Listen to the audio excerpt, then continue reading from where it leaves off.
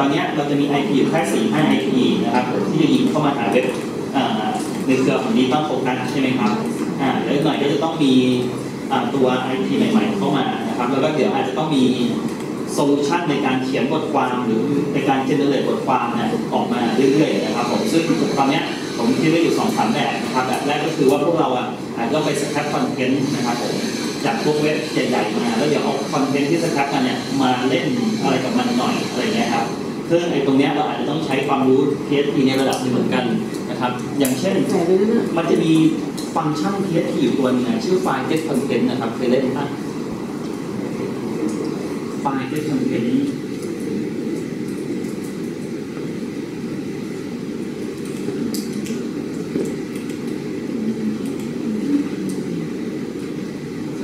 อ๋อผมตัวที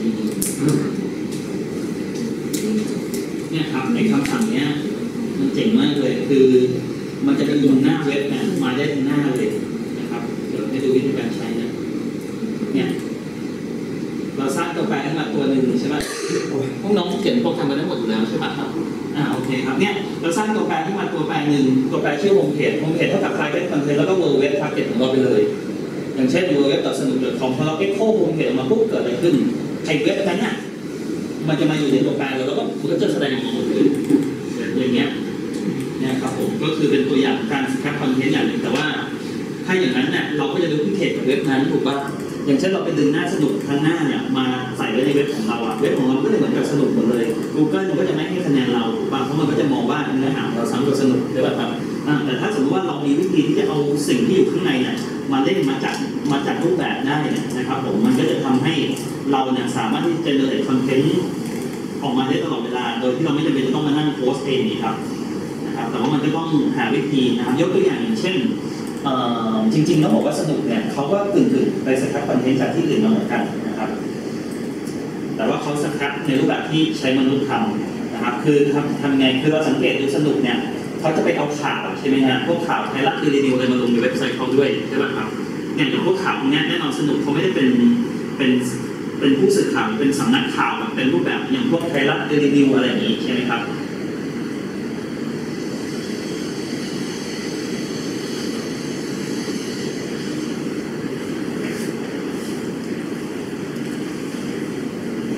นี่ก็ถึงนะ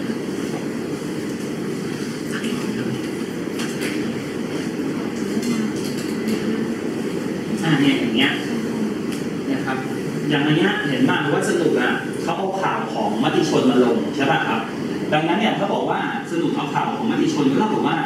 Google มันก็ต้องไม่ให้ priority ของสนุกสิถูกป่ะเพราะสนุกมันก็มติชนมาใช่ไหมครับ แต่จริงๆแล้วเนี่ยมันจะมีโครงสร้างอยู่ 3 4 อย่างกันนะครับ ที่ทำให้ Google ก็ยังให้ความสำคัญกับสนุกอยู่ ทั้งนั้นที่สนุกเอาข้อมูลจากที่อื่นมาลง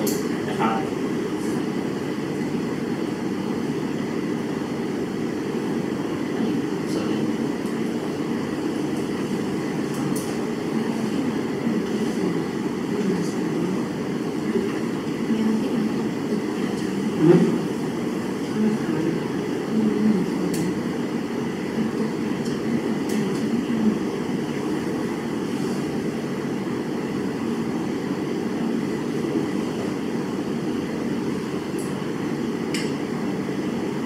เห็นป่ะครับขึ้นที่หนึ่งเลยเห็นป่ะมติชนเป็นเจ้าของบทความแท้ใช่ป่ะมติชนเนี่ยเป็นคน generate คอนเทนต์นี้ขึ้นมาถูกป่ะครับ แต่สนุกเนี่ยมาเอาคอนเทนต์ของมติชนไปลงถูกป่ะเห็นป่ะครับแต่สนุกเนี่ย ขึ้นที่หนึ่งแซงมติชนเขาอีกเห็นป่ะเพราะอะไรรู้ป่ะครับเพราะว่าสนุกเนี่ยเขามีอยู่สามอย่างที่มันทำให้การการที่ไปเอาคอนเทนต์จากที่อื่นมาเนี่ยแต่ตัวเองอะสามารถแซงต้นฉบับหรือแซงเจ้าของคอนเทนต์ได้นะครับหนึ่งคือโครงสร้างของเว็บไซต์ของสนุกกับมติชนไม่เหมือนกันนะครับเดี๋ยวผมให้ดูนะครับเนี่ยข่าวเนี้ยมติชนเขาเป็นเจ้าของถูกป่ะ เนี่ยเห็นป่ะมติชนลงเมื่อหนึ่งชั่วโมงที่ผ่านมาเห็นป่ะสนุกเนี่ยลงเมื่อสี่แปดนาทีที่ผ่านมาแสดงว่าสนุกอะออกมาช้ากว่ามติชนสิบสองนาทีถูกป่ะนะครับแต่ประเด็นคืออะไรนะครับ เราสังเกตดูโครงสร้างของเว็บเนี่ยมันไม่เหมือนกันร้อยเปอร์เซ็นต์นะครับก็คือการวาง layer ของเนื้อหามันไม่เหมือนกัน แค่การวาง layer ไม่เหมือนกันเนี่ย Google ก็มองไว้ว่าไอ้สองอันเนี้ยไม่ได้ไม่ได้ก๊อปกันมาร้อยเปอร์เซ็นต์นะครับหนึ่งก็คือวางโครงสร้างไม่เหมือนกัน อันนี้มติชนใช่ปะเห็นไหมครับ ก็คือมติชนเขามีอะไรใช่ป่ะก็จะมีโลโก้มติชนอยู่ตรงนี้ มีหัวข้อหมวดหมู่ใช่ป่ะครับ มีหัวข้อข่าว มีรูป มีอะไรอย่างนี้ใช่ป่ะครับ มีแชร์ด้านขวา มีอะไร ด้านขวามีข่าวล่าสุดใช่ป่ะครับอ่านะครับ ด้านล่างมีป้ายโฆษณาใช่ป่ะ สนุกเป็นไงนะครับสนุกเป็นไง เห็นป่ะ หัวข้อก็ไม่เหมือนกันแล้วใช่ป่ะครับ การวางเมนูก็ไม่เหมือนกันแล้วใช่ป่ะครับ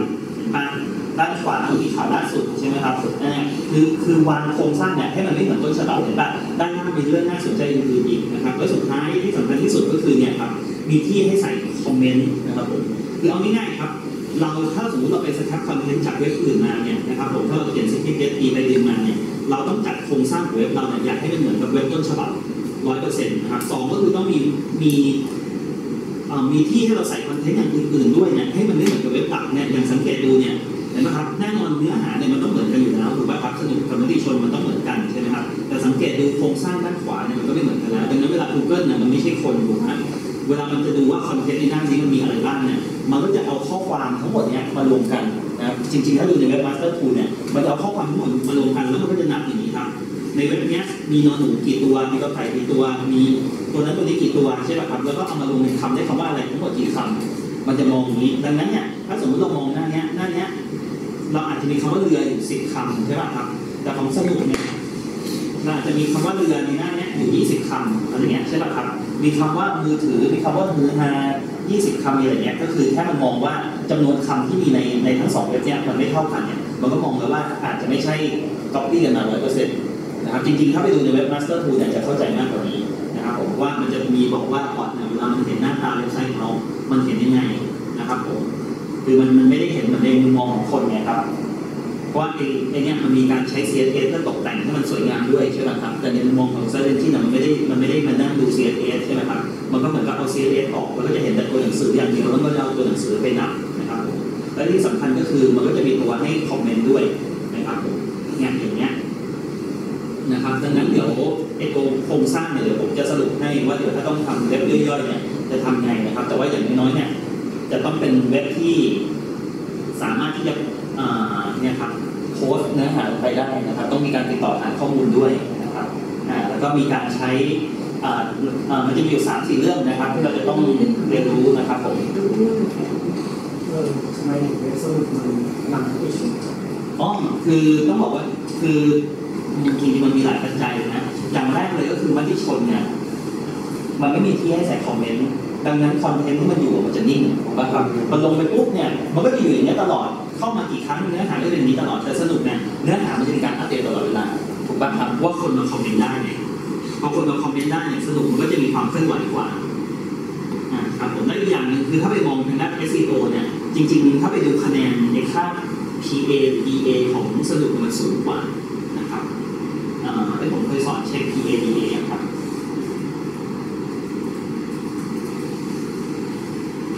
คือเดี๋ยวนี้มันจะมีคะแนนหลักๆที่ Google เอาไว้คือเอาไว้เอาไว้เอ่อเขาเรียกว่าอะไรไว้เรียงลำดับนะครับผมว่าเว็บไหนควรจะอยู่ในอันดับที่สูงกว่ากันเนี่ยแต่ผมก็จำไม่ได้ว่าปกติเขาใช้ตัวไหนเช็คนะน่าจะเป็นตัวนี้นะตัวนี้ครับคือมอสนะครับเดี๋ยวผมท้าความนิดหนึ่งนะครับในตัวเนี้ยจริงๆอยากให้เข้าไปดูที่ตัวเนี้ย เดี๋ยวผมบอกเรื่องแหล่งความรู้ SEO หน่อยแล้วกันนะครับ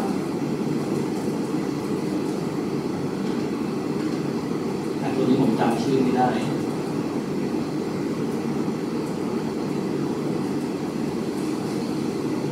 ใช่หรือเปล่าวะ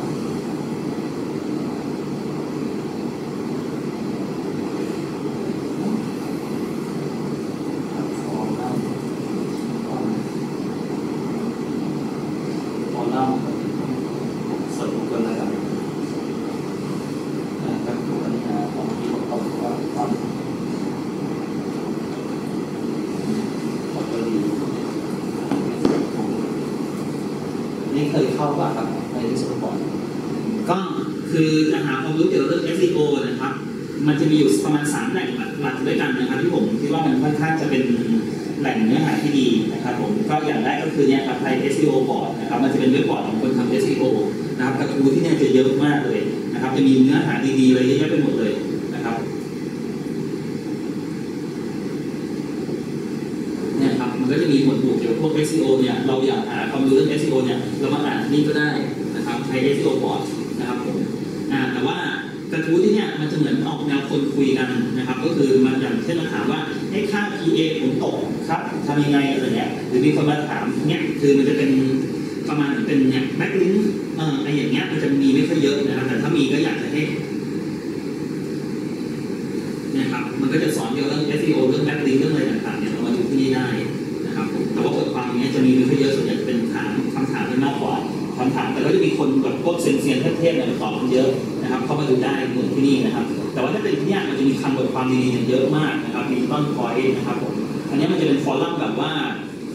ของโลกเลยนะครับผมว่าคนเล่นกันเยอะมากนะครับ กระทู้เนี่ยมีเป็นล้านนะมีเป็นล้านกระทู้เลยเกี่ยวกับเกี่ยวข้องกับเรื่องของ online marketing SEO SEM อะไรพวกนี้นะครับผมมาอ่านที่นี่ก็ได้ครับ แล้วเขาพูดถึงเรื่องคือต้องบอกว่าอย่างไทย SEO บอร์ดเนี่ยมันของคนไทยถูกไหมครับ แล้วคนไทยใช้ Google กันเยอะมากนะครับดังนั้นเนี่ยที่เนี้ยจะคุยแต่เรื่อง SEO 99%คุยเรื่อง SEO บน Google แต่ถ้าเป็นของ d ี t อนพอยต์เนี่ย มันจะมีคุยเรื่องของ SEO บน search ที่แปลกๆหลายๆตัวเหมือนกันตัว search ที่ของรัสเซียอะไรเงี้ยอย่างคนรัสเซียเขาใช้ Yandex เนี่ยครับคนจีนใช้ไป่ตู้อะไรเงี้ยใช่ไหมฮะในเนี้ยมันจะมีคุยกันด้วยเผื่อจะหาความรู้เพิ่มเติมมาดูที่นี่นะครับอะเมื่อกี้ผมที่บอกว่า ที่ผมบอกว่าสนุกนะคะแนนมันเยอะกว่าไม่ที่ชนคือคืออย่างนี้ฮะไอไอมอสเนี่ยนะครับผมไอมอสแซตัวเนี้ยเขาทำเขาเหมือนเขาเป็น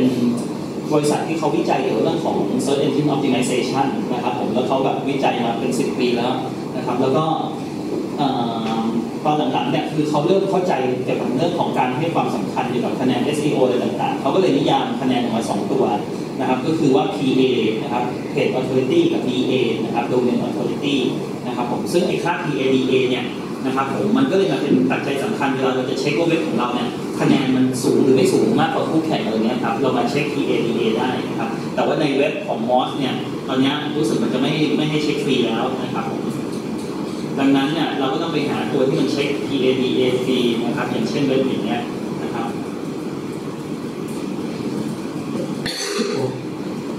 เออ Facebook แล้วกัน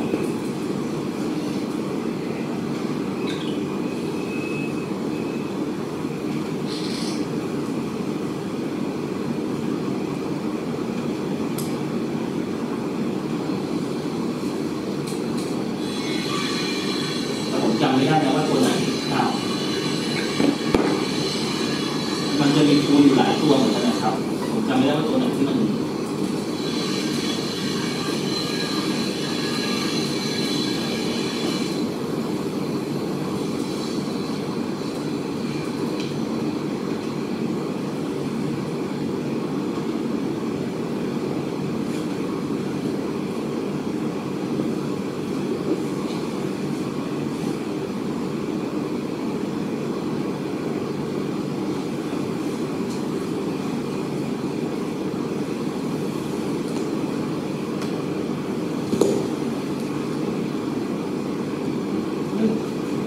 ถูกหรือเปล่าผมไม่รู้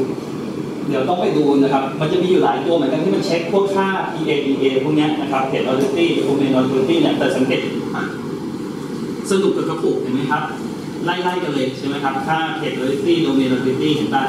เพจอยู่ที่ประมาณ 74 ทั้งคู่นะครับโดเมนอยู่ที่ 68เห็นป่ะถ้าเทียบกับ facebook.com เนี่ยเห็นป่ะครับเพจ authority 97 เนี่ยโดเมน authority ร้อยเต็มเลยเนี่ยดังนั้นเนี่ยสมมติว่า 3 เว็บเนี้ยทำ keyword แข่งกันนะครับ สมมติว่าทำคำเดียวกัน นะครับผม Facebook ยังไงก็ชนะ เพราะว่าคะแนนสองค่าเนี้ยเขาสูงกว่าตัวอ่าเนี่ยครับผมดังนั้นถามว่าถ้าสมมติสนุกกับมติชนแข่งกันเนี้ยนะโดยพื้นฐานเนี่ยจริง ๆ มันจะดูในเรื่องของโครงสร้างของเว็บไซต์ก่อนนะครับว่าโครงสร้าง SEO ของใครมันดีกว่ากันคือทำให้ search ที่มันมองว่าเราจะทำดันคำเนี้ยได้ดีกว่าเนี่ย Google มันจะให้ตัวนั้นขึ้นก่อน แต่ถ้าสมมติว่าโครงสร้างดีทั้งคู่เนี่ยครับผมกับกินกันไม่ลงเนี่ยมันจะมาดูกันที่คะแนนพวกเนี้ย แล้วพวกคะแนนดีกว่าเนี่ยผมว่าขึ้นสูงกว่าแน่นอนนะครับ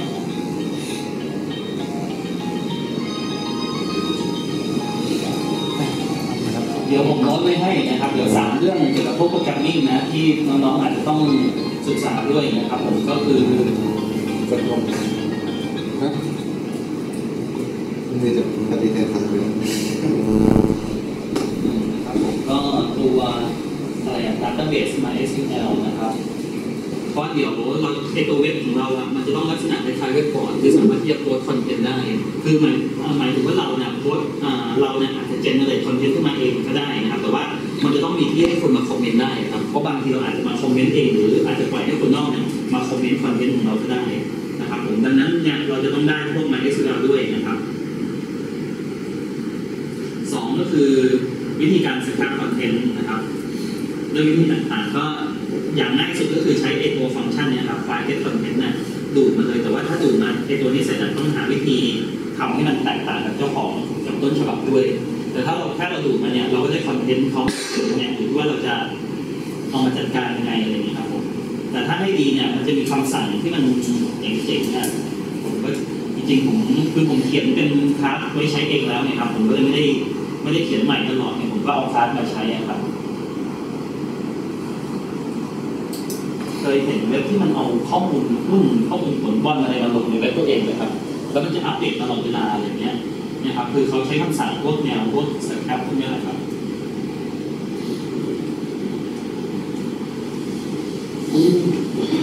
ก็เลยผมเจอพอดีเลยเนี่ยครับไอตัวไอตัวครูเนี่ย C U L อันนี้ก็อีกตัวหนึ่งนะครับ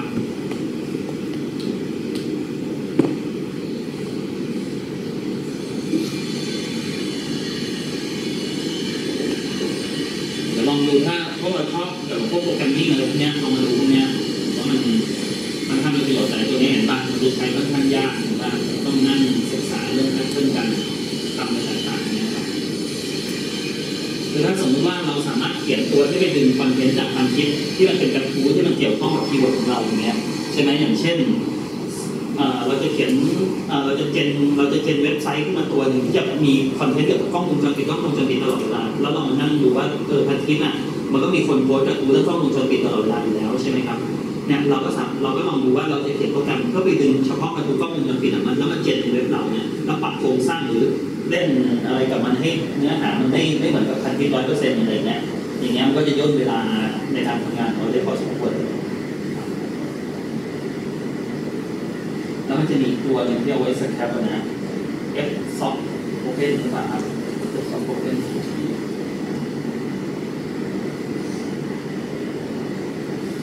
อกี้ผมเห็นมันมีน่าจะมีคน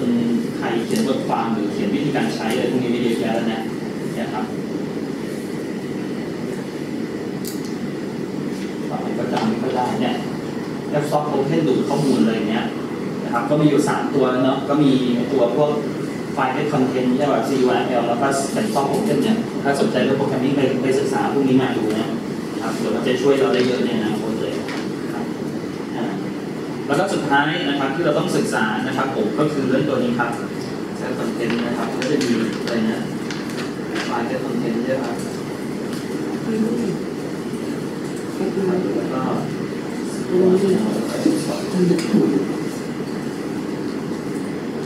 ครับแล้วก็ตัวที่สามก็คือ mod relight นะครับ mod relight เนี่ยมันจะมีประโยชน์ในแง่ที่ว่าเรามันจะทำ URL ให้มันสั้นแล้วก็กระชับลงนะครับเพราะว่าปกติเนี่ยถ้าเราดึงข้อมูลจาก database มาปกติคนส่วนใหญ่มักจะเขียน URL มันก็จะออกมาเป็นประมาณนี้ใช่ป่ะครับ web.myweb.com ใช่ป่ะครับ slash index.php ใช่ป่ะว่าชื่อมา id เท่ากับ5อะไรอย่างงี้ใช่ป่ะก็ไปเนื้อหาถัดไปหรือไปตัวถัดไปก็จะเป็น id เท่ากับ6 id เท่ากับ7เท่ากับ8เนี่ยแต่จริงๆถ้าอยากให้มันเฟรนลี่กับ Search Engine เนี่ยมันน่าจะเป็น www.myweb.com กล้องวงจรปิดอะไรเงี้ยครับเนี่ย มันน่าจะเป็น URL อย่างเงี้ยน่าจะดีกว่านะครับแต่อย่างเงี้ยเราไม่ได้ไปสร้างโฟลเดอร์ที่กล้องวงจรปิดนะใช่ป่ะครับอ่านะครับ แต่ว่ามันเป็นโฟลเดอร์เสมือนนะครับ จากการใช้คำสั่ง modify นั่นเองนะครับ ก็คือเราจะต้องไปสร้างไฟล์ไฟล์เราต้องไปเขียนคำสั่งนี่ยในตัวเอ่อไฟล์ .html อะไรอย่างเงี้ยแต่ไม่เป็นไรเดี๋ยวตัวเนี้ยศึกษาไว้ก่อนนะครับเดี๋ยวถ้าจะใช้จริงๆอะประมาณช่วงอีกสองสามสัปดาห์เนี่ยเดี๋ยวคงมาคุยกันละเอียดอีกทีนะครับ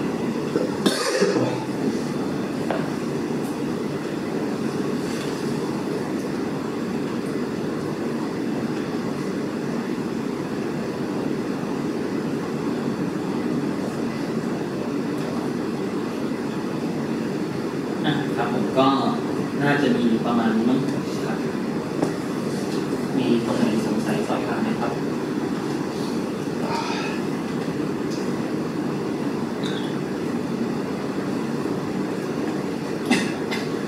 ค ตรงคอมเมนต์นะครับ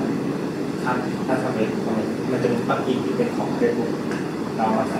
อ๋อของมันที่เป็นชิ้นเออต้องดูไอเนี่ยครับ ไม่มีเว็บไหนที่ที่ติด plugin คอมเมนต์เลยไหมฮะมีตัวอย่างสักเว็บไหมที่เป็นไปผ่านประตูเนี่ยมีไหมมีไหมไปผ่านประตูจะมีอ๋อมีเอ้ยไม่ใช่ไม่ใช่ตัวนี้มันเป็นคอมเมนต์มีมีเว็บเลยครับเว็บที่เราครับไปผ่านประตูได้ใช่ ไหมครับได้ได้ประตูครับ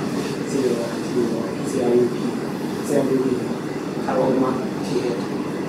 ทีเอเนี่เป็ยนเป็นเป็นวันทีต้องต้อง search ก่อนนะครับคือสิ่งสำคัญก็คือเราจะดูว่ามันถือว่าใช้ได้ไม่ได้เราต้องดู source code ดูแล้วดูว่าไอคอนเทนต์ที่เขามาคอมเมนต์อะมันอยู่ในหน้าเว็บเราหรือเปล่าหรือมันไปอยู่ใน Facebook ถ้าอยู่ใน Facebook ก็จบเลยก็ถือว่าไม่ใช่คอนเทนต์ ดังนั้นไอ้พวกเดี๋ยวต้องดูอะครับรู้สึกมันจะเป็นแบบว่าคือติดตาม URL เลยใส่คือรูปแบบมันจะมีเฟซบุ๊กเลย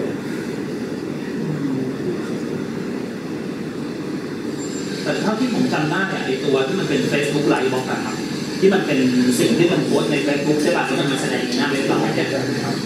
ในถึงตัวคอมเมนต์นะครับหมายถึงว่าเด็มีกการมองให้เข้าไป นี่เลยนะครับ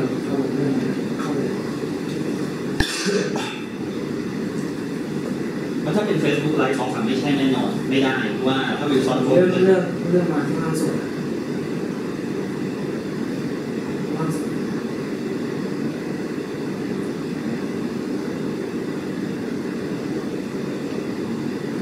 เออเนี่ยผมว่าไม่ได้ไม่น่าได้อะอันนี้